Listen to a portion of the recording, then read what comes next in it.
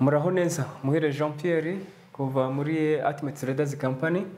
Uyu munsi tugiye kwiga isomo ry'ingenzi cyane isomo ryitwa candlestick pattern. Candlestick pattern ni kimwe mu bikoresho abantu bakora technical analysis bakenera cyane mu gukoresha cyane. Uyu munsi rero tugiye kuguha amwe mu makuru y'ingenzi uzakenera kuri candlestick pattern. Turaza kubibonera hamwe ariko tubonane nyuma ya intro.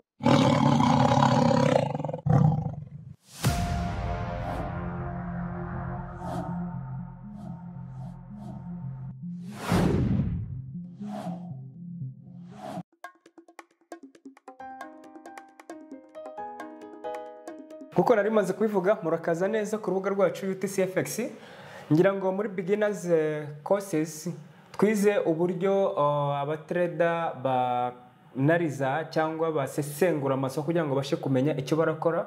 Bumwe mu buryo twabonye bworoshye kandi bwizewe nubwo twita technical analysis. Aho abatreda bakora basesengura isoko bagendeye uko isoko ryagiye mu gihe cyahise bikaba babasha kumenya bityo icyo isoko riraza gukora mu gihe gikurikiyeho. Ni ukuvuga rero icyo tuzifashisha aho ngaho mu bintu bimwe by'ingenzi cyane tuzifashisha ni icyo twita candlestick. Pattern. Reka rero turebere hamwe candlestick ni iki? Candlestick ni uburyo dufata mu gishushanyo twerekana nk'uburyo bw'igishushanyo uko isoko ryagiye rigenda mu gihe runaka. Icyo ni cyo twita candlestick. Ako kantu kari mu buryo bw'igishushanyo ariko bwerekana uburyo ryagiye rigenda mu gihe runaka. Tuvuge ashobora kuba ari mu munsi ashobora kuba ari mu kwezi ashobora kuba ari mu cyumweru ashobora kuba ari mu isaha mu masane mu minota cyangwa mu isegonda ako kantu niko twita candlestick. Hanyuma nk'uko nari nabivuze muri introduction candlestick rero akaba ari kimwe mu bikoresho tuzakoresha cyane mu kuba twabasha kumenya uh, cyerekana uburyo isoko ryagiye ariko ririfashe muri ako kantu kamwe gusa ariko twise candlestick pattern yacu. Ni ukuvuga rero ushaka kumenya mu gihe runaka uko isoko ryagenze utiriwe usoma ibinyamakuru cyangwa kugira ute ushobora kuba wareba ako kantu kamwe twita candlestick bityo kakaba gashobora kuba kari kukubwira amakuru yose ajyanye n'uko isoko ryagenze mu gihe runaka waba wifuza kurirebamo icyo ni cyo twita candlestick tugenekereje mu kinyarwanda. Nizere ko abasha kumva ururimi rw'icyongereza byo barabyumva neza kurusha ariko tugenekereje mu by'ukuri ni icyo ngiki cyo candlestick pattern icyo ari cyo. Hanyuma rero candlestick pattern zaturutse hehe? Ibi ntabwo ari ibintu bivutse uyu munsi muri gihe cya internet ahubwo ni ibintu byabayeho kera cyane. Candlestick ni tekinike yavumbuwe n'umugabo w'umuyapani witwa Munehisa Homa yari umucuruzi w'umuceri.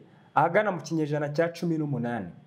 Urumva ko ni ibintu bimaze igihe kinini cyane ni ukuvuga agendeye ku bihe yabashaga kumenya uburyo aracuruza umuceri we ndetse akabagendera akabasha kumenya na santima z'abantu uko zimeze bityo akaba abasha kuba yacuruza umuceri we akabona n'inyungu nyinshi cyane.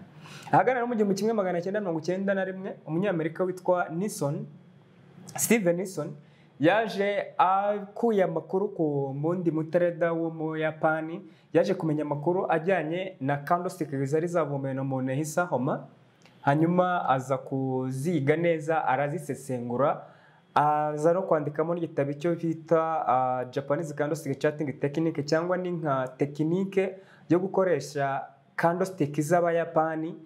Ntareba ariko cyandikaho ngaho mu gihumbi kimwe magana cyenda mirongo icyenda na kimwe ni ukuvuga rero ko tuzi candlestick uyu munsi ni byakozwe n'uyu munyamerika bitwa Steve Nison muri makeya ayo niyo mateka ya candlestick. Patterns ya candlestick. Ushaka kumenya ibindi birenze ushobora kujya ku rubuga rwacu cyangwa ukaba wakora n'ubushakashatsi bwe kuri Google. Ariko mu by'ukuri kumenya ayo mateka cyane kugira ngo ube wiga ibintu uzi ibyo ari byo ariko ntacyo bizadufasha cyane muri trading. Ibizadufasha no kumenya iyo candlestick ko dushobora kuyikoresha kugira ngo ibyare inyungu. Niba rero uri mushya ku rubuga rwacu ntibagirwe gukora subscribe ndetse ukore na like ukore na share kugira ngo ntuzacikwe n'isomo ry'ubutaha kuko ibi ni ibintu by'ingenzi cyane uzakomeza gukenera muri trading yawe. Reka rero dukomeze turebere hamwe um, turebere hamwe noneho iyi kategori cyangwa ubwoko bwa candlestick. Haba tugira candlestick z'ubwoko bubiri iya mbere nizo twita bullish hanyuma iza kabiri nizo twita bearish. Urabibona neza ko izi candlestick zifite utubara dutandukanye nubwo zijya kumera kimwe ariko no kamwe ari icyatsi kibisi akandi ari umutuku. Candlestick yacu ni kuri iba imeze mu buryo buri rusange. Ibindi bigiye byimbitse kuri izi candlestick tuzagenda tubibona. Rero habaho candlestick uko byagenda kose ni ebyiri. Dufashe ibyiciro binini bamo candlestick ni ibyiciro bibiri. Icyo twita bullish candlestick ibyo n'izindi twita bearish candlestick. Kubera iki? Ibi ngibi tufitemo candlestick ebyiri. Twabonye abantu benshi bakora forex aho twabonye bank hedge fund big commercial companies ibigo binini by'ubucuruzi amabanki aba hedge fund aba market makers ndetse n'aba retail traders nkatwe. Abo bantu icyiciro icyo ari cyo cyose cyose babamo icyo baba bagamije ni ibintu bibiri gusa. Ni ukugura cyangwa kugurisha kuko ni bwo buryo bwonyine buhari dushobora kubonamo amafaranga muri forex trading kandi umuntu wese uri mu isoko hano rya forex trading aba ashaka iki? Amafaranga. Ni ukuvuga rero kabamo candlestick ihagarariye abagura. Iyo niyo twita bullish candle. Hano niyo twafashe mu kigereranyo cy'icyatsi kibisi. Aya niyo mabara akunze gukoreshwa cyane kurusha kuyafata amabara ushaka ariyo yose. Ariko ahantu uzasanga kenshi umuntu afite candlestick y'icyatsi kibisi ni ukuvuga aba ari candlestick ihagarariye abagura. Hanyuma candlestick iri itukura ihagarariye ba bandi bagurisha. Hanyuma rero ugiye kureba urabona ko izi ngizi na zo ni adjective. Aya mazina arimo hano ufashe iri jambo ukarigabanyamo kabiri urabonamo ijambo buru. Dukuyeho aka kajambo kandi inyuma urabona ko ni buru washyiraho ish bigahita bihinduka adjective.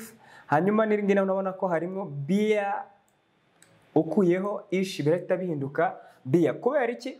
Twafashe aya mazina abiri buru ni ikimasa Bia ni inyamaswa idakunze kuba ntabwo iba mu Rwanda ariko ni icyo bita mu kinyarwanda idubu ku babasha kubimenya abasoma biriya cyane ngira ngo murabibona. Kubera iki? Twakiriye ibi bintu bagendeye kuri aya mazina y'inyamaswa. Nk'uko tubizi inka iyo cyangwa ikimasa kiri kujya kurwana kirwana gikoresheje amahembe yacyo kiteramo ihembe gishaka guterera hejuru. Mu by'ukuri rero abantu bagura nabo iyo ugiye kugura isoko uba wifuza ko iryo soko rishobora kuzamuka mu giciro kugira ngo uze kugurisha hejuru ariko ufite inyungu nini cyane. Niyo mpamvu barigendeye ku cyo bita burish bafashe ikimasa iyo burish ni ukuvuga babyitiriye hariya bigendeye ku miterere yabo. Mu yandi magambo aba burish abangaba bakora burish traders cyangwa abo twita bulls. Mu ndimi ziri informo ubwo abantu bashaka ko isomo rizamuka tubita bulls icyo gihe mu yandi magambo ni aba buyers. Hanyuma aka ngaka ka bearish ni iki? Bigenda na byo ku miterere y'idubu cyangwa kiriya twise beer iyo kirimo kirwana kiba kizamuka gishaka gutsindagira icyo kirwanya hasi kugira ngo kibe cyabona uko cyitabara cyangwa kikirwanya. Ubwo rero ni ukuvuga abantu nabo tugurisha mu isoko bagurisha isoko iyo ugurishije isoko uba wifuza ko igiciro cyamanuka cyane kikajya hasi niyo mpamvu iryo soko baryise bagendeye kwa ririya nyamaswa. Akaba rero ibyo ngibyo ari byo twita mu by'ukuri iyo tuvuze ngo umuntu ni beers iyo ari muri beer mu isoko ariteme ko babonye going long na going short ari byo kugura no kugurisha. Icyo gihe nabo abo bantu tuvuze ngo icyo gihe tuba tuvuze sellers cyangwa abagurisha isoko. Ni ukuvuga ni iyo candlestick ebyiri dufite mu isoko ni candlestick ihagarariye abagura ariyo twita bullish candlestick pattern. Hakaba na candlestick ihagarariye abagurisha ariyo twita bearish candlestick pattern. Kandi naho byaturutse n'impamvu ibiri inyuma ngira ngo twabyumvishe reka dukomeze rero isomo ryacu turebera hamwe imiterere ya candlestick. Candlestick igira ibice bibiri by'ingenzi. Igice cya mbere ni cyo twita body cyangwa icyo twakwita umubyimba. Hanyuma ibindi gice cya kabiri ni cyo twita shadow cyangwa twita wiki. Sinzi shadow ko turaza kuyita mu kinyarwanda tuyifate gutyo. Ariko ni turiya tuntu tumeze nk'udukono uri kubona hasi cyangwa hejuru nitwo twita shadow. Ibyo ni ibice bibiri bigize candlestick. Candlestick yose yaba iri bullish yaba iri bearish iba ifite biriya bice bibiri. Igice cya mbere ni uriya mubyimba turi kubona mu ibara ry'icyatsi kibisi cyangwa muri rya rindi ry'umutuku ikindi gice cya kabiri ari cyo twita umubyimba igice cya kabiri ni turiya dukoni harimo n'abatwita teyiri umurizo tuba turi hariya hejuru kuri candlestick hejuru cyangwa hasi ni cyo twita wicks.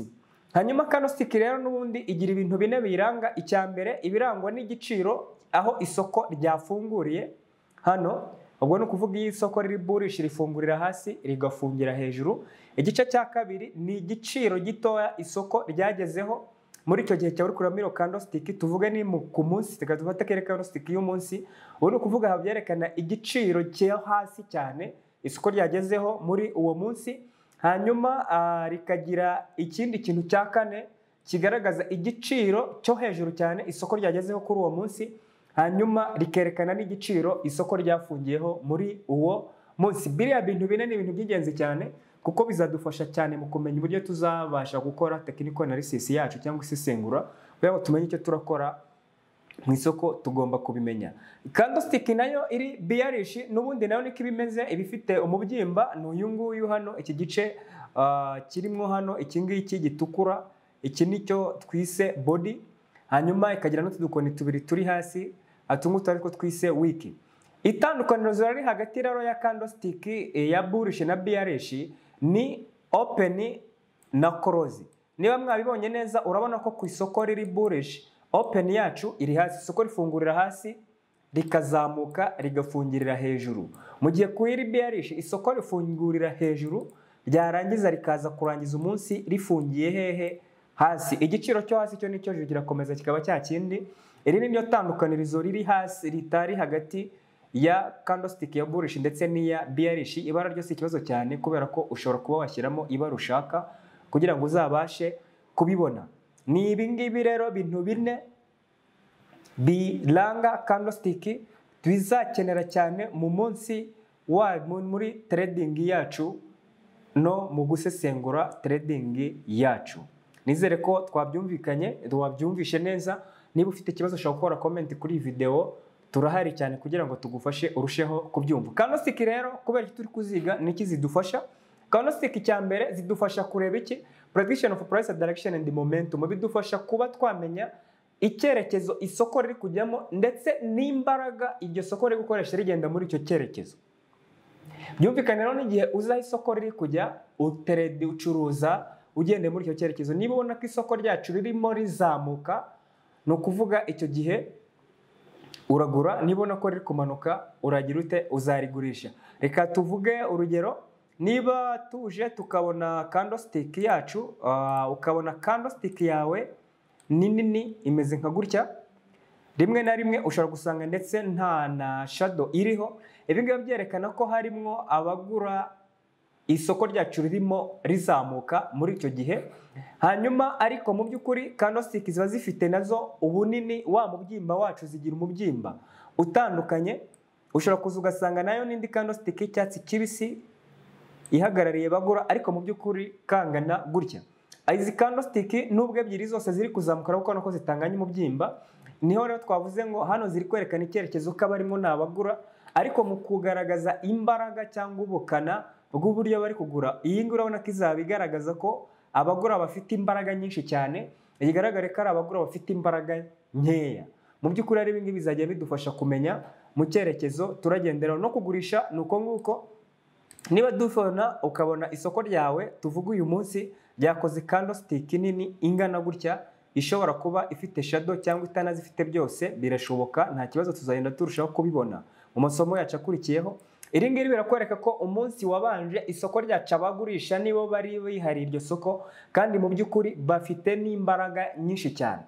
Bivuga ngo umunsi ukurikiyeho wagombye kuba niba ugiye kugurisha ugiye gucuruza iri soko wagombye kuba ushaka uburyo nawe urigurisha.